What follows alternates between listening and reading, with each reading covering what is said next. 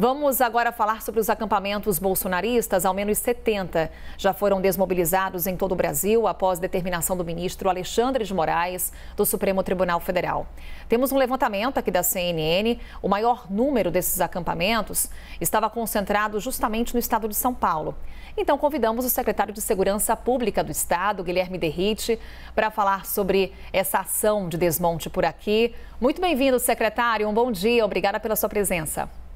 Bom dia, Carol. É um prazer estar aqui com vocês, participando do, do programa. Bem, secretário, eu tenho aqui um número, 34 acampamentos em São Paulo. Primeiro, quero a confirmação do senhor se de fato é um número que a secretaria também compartilha e se todos esses acampamentos já foram desmontados. Foi uma ação que transcorreu pacificamente?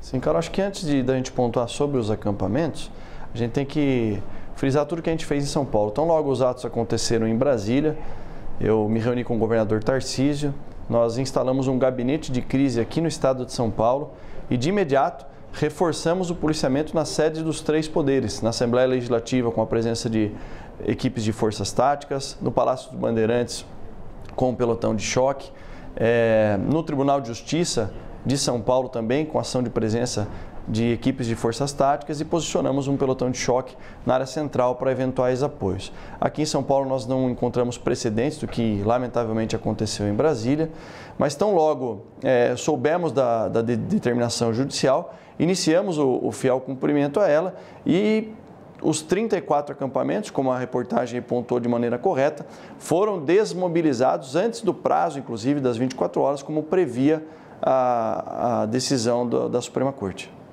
Secretário, e muito se questiona da manutenção desses acampamentos. Por que só agora, depois de uma determinação judicial, é que houve o desmonte?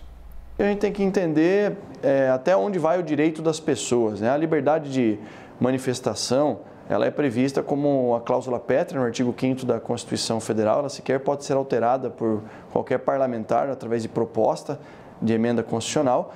Então é um direito que todo cidadão possui. Agora não podemos confundir o direito de manifestação com atos violentos que acabem usurpando essa, esse direito garantido na Constituição. Em São Paulo, por exemplo, nós não tivemos casos de, de depredação, de invasão a sedes de poderes. Então, entendo eu que esse direito à livre manifestação estava sendo exercido pelas pessoas que, que como eu disse, têm esse direito constitucional garantido. A partir do momento que houve essa quebra por parte dos manifestantes que não se tornaram mais manifestantes e sim cometeram atos violentos lá em Brasília, houve a determinação judicial. Creio eu que por uma precaução de que novos atos não ocorressem, a gente deu fiel cumprimento a essa determinação. E até para entender um pouco essa avaliação da secretaria, é, secretário, é, mesmo diante de uma pauta antidemocrática, mesmo no caso aqui da capital paulista, é, bloqueando totalmente uma via ali, impedindo a livre circulação das pessoas, direito também de ir e vir? É, então é importante a gente frisar que o, os pequenos focos que ocorreram eh, na 23 de maio, também na Marginal Tietê, outro na rodovia Anguera, os manifestantes, assim que bloquearam, houve uma ação imediata das forças de segurança para que fossem desbloqueados e nós temos ali, produzimos relatório de inteligência com vídeos mostrando que não estava, estava completamente, lógico que no momento que há o bloqueio, a polícia chega, atua para que haja a livre circulação, porque a liberdade de manifestação não pode ser confundida com impedimento de ir e vir das pessoas, que também é uma, é uma garantia e o Estado tem que se fazer presente. Eu fiz um sobrevoo, Carol, na manhã logo após os incidentes em Brasília, para garantir que a chegada e saída de São Paulo na Castelo Branco, rodovia Anguera, na própria Marginal Tietê, onde houve um foco ali é, de tentativa de interrupção e estava assim tranquilo, justamente pela preocupação que a gente tem e que não impedisse a, o, o trânsito na chegada e na saída e no interior da cidade de São Paulo.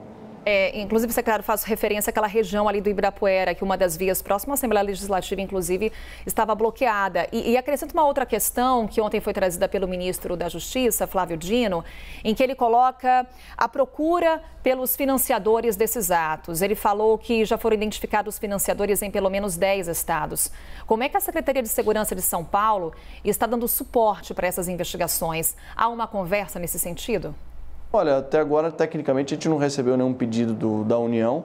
Essas investigações elas vêm acontecendo é, pela Polícia Federal, que é, um, é a polícia é, ligada ao governo federal, e creio eu que é, o que levou essa, essa decisão judicial foi justamente iniciativa da Polícia Federal, solicitação, enfim. Agora, aqui em São Paulo, Caso haja por parte do governo federal é, solicitação, a gente pretende colaborar não só com esse assunto, mas com qualquer pauta.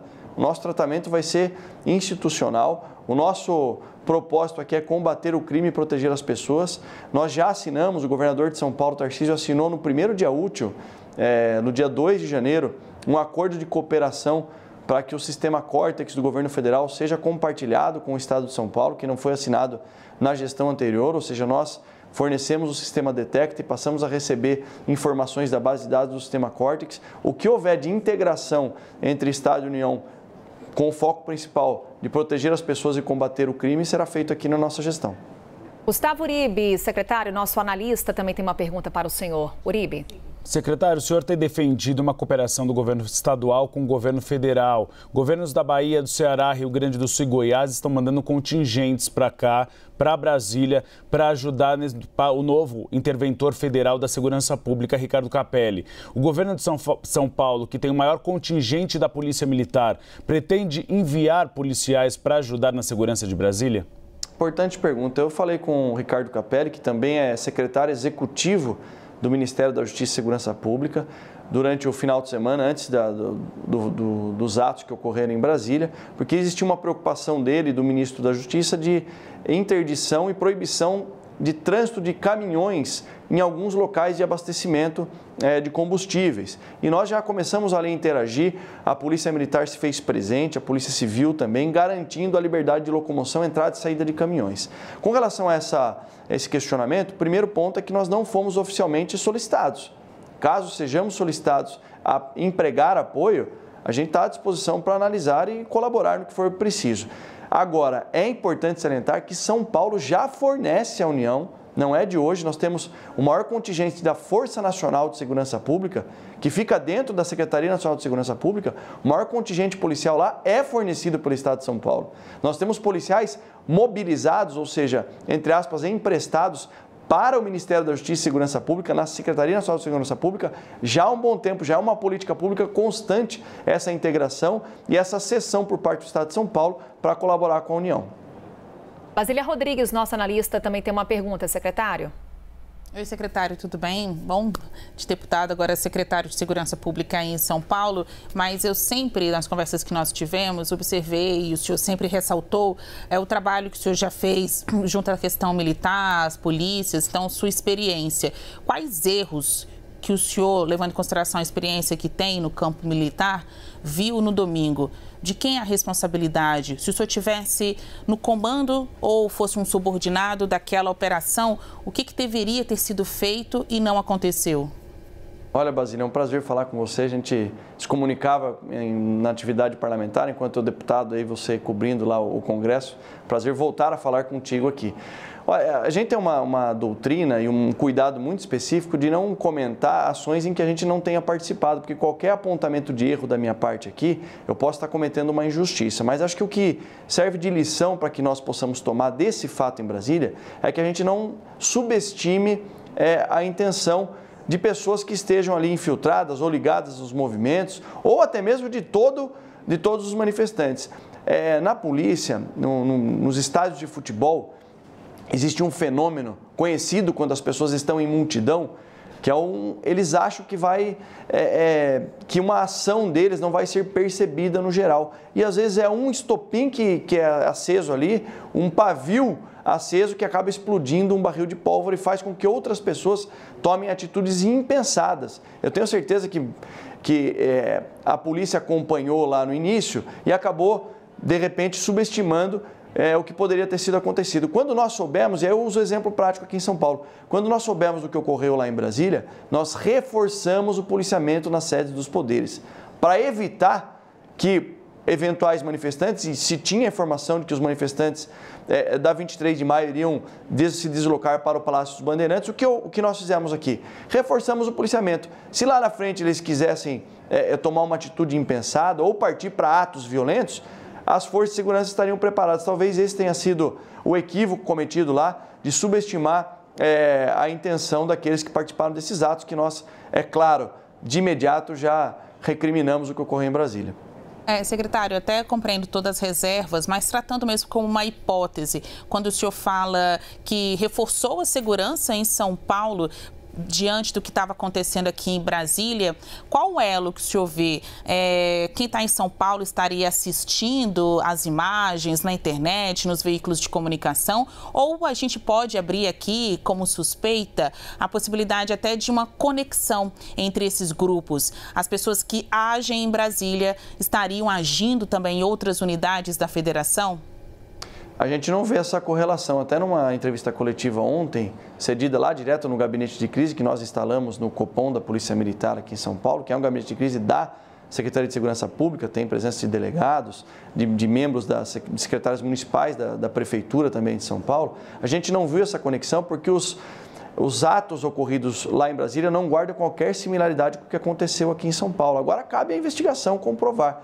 Agora eu creio que é, o que serve de lição, volto a falar, é não subestimar que atos que iniciam-se pacificamente possam evoluir e progredir para atos violentos que ultrapassem os limites da lei. Então, aqui em São Paulo, nós tomamos a precaução de nos anteceder através de, claro, de agentes do serviço de inteligência que estavam acompanhando as manifestações e assim será. A gente tem que garantir que atos como esse que ocorreram em Brasília não aconteçam no nosso estado.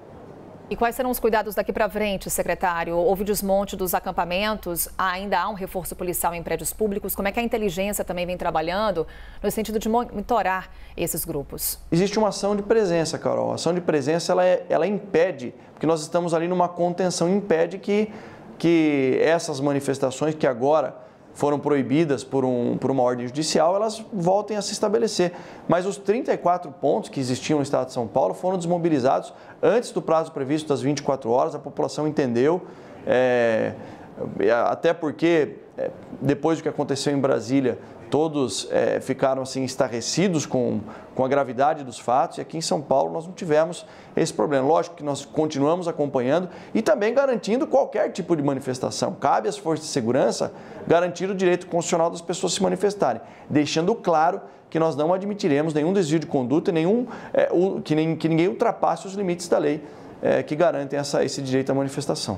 Secretário, eu vou encerrar aqui com um assunto fugindo um pouco da nossa pauta principal, mas é um assunto muito trazido aqui pelo Rafael Colombo no CNN Novo Dia, que é a utilização de câmeras no uniforme dos policiais militares. Foi um assunto também muito debatido durante a campanha do governador Tarcísio de Freitas. O senhor disse que iria rever o programa. Aí depois veio o governador e disse que não vai mexer.